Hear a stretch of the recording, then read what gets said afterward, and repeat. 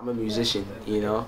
I love music, and music makes me it makes me feel different emotions, and it brings out different emotions in me, you know, that I have. And music is the way that I can put out those feelings.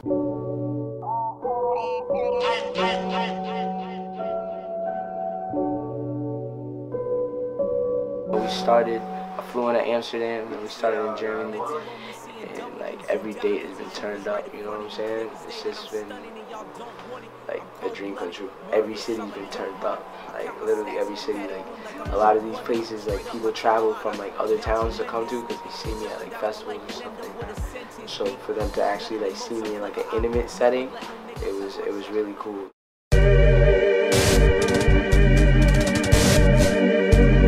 Eyes of the World got made on tour.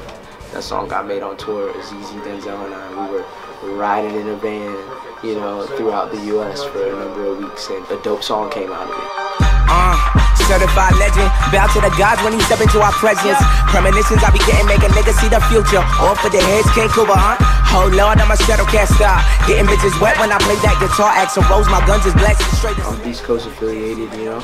Um, those are all the, those are all the bros and everybody's out here doing their thing, you know and it's, it's just basically a great thing to see that New York um, and even just the East Coast, East Coast, the West Coast, everybody in general right now in this hip hop who I've um, you know come across and like actually gotten to talk to um, seems to be doing something right, you know, and trying to move in a positive light.